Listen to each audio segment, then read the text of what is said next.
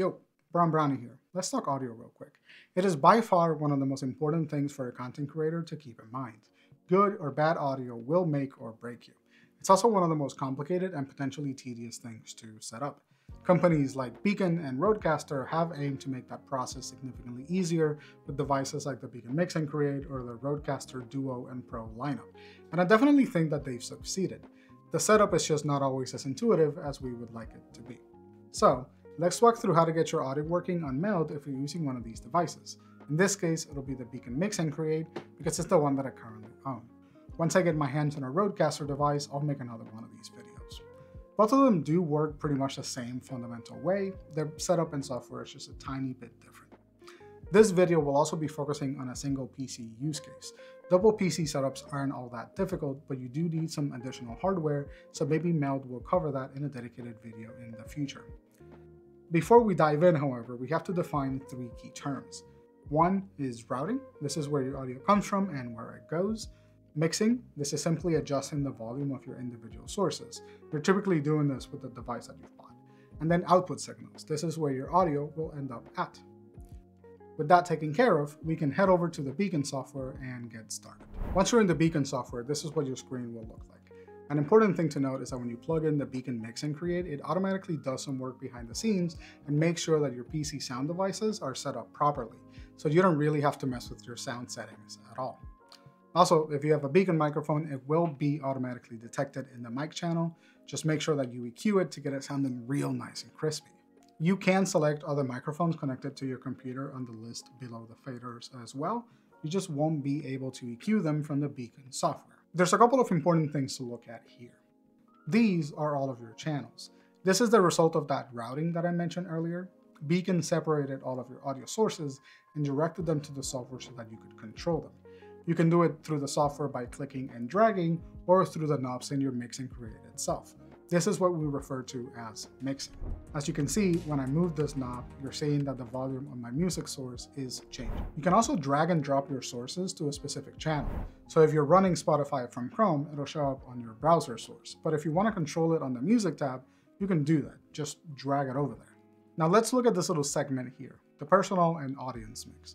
The Beacn creates two mixes, your personal mix, which is what you're hearing on your headphones or monitor, and you will probably be the only one listening to this mix.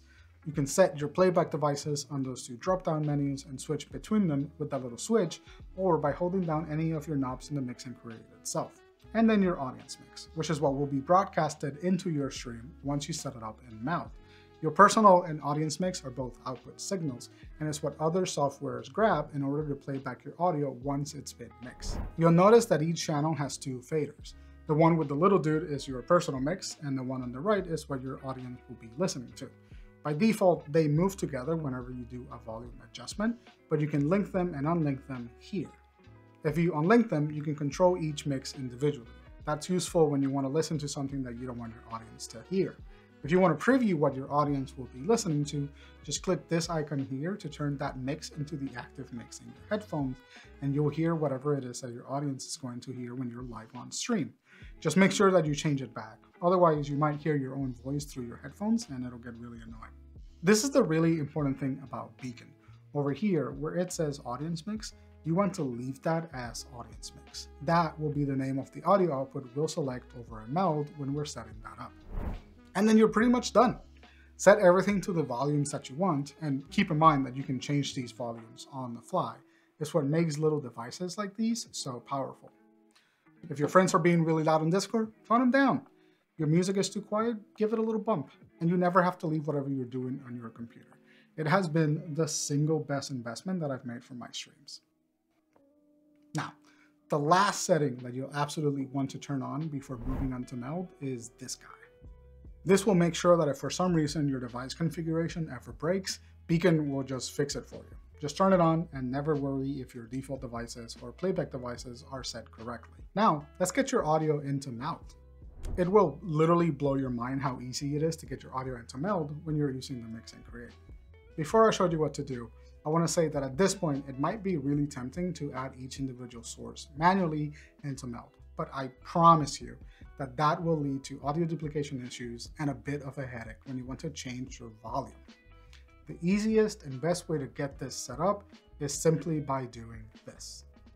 You simply add an audio source and in the drop-down menu at the bottom, click and select Audience Mix. That's it. That's all that you have to do.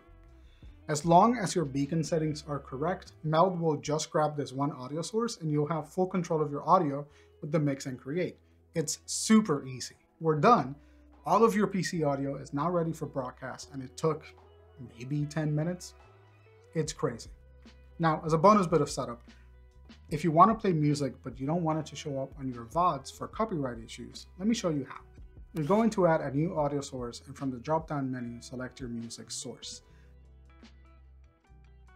And then you click on this little button to exclude it from the VOD. Then we have to go back to Beacn and click where it says Routing Table. I briefly mentioned routing before. This is how Beacn knows what audio sources to send where.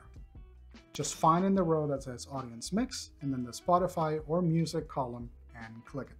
Now, Beacn will exclude the music from your audience mix so that it's just playing through that VOD excluded source in Meld, but you can still hear it in your personal mix if you want to. The only caveat to this is that you're not able to control the volume of the music track for your audience through Beacn when you do this.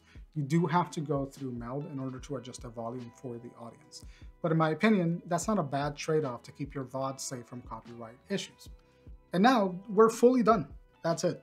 Go stream. And if you run into any issues, hop into the Meld Discord.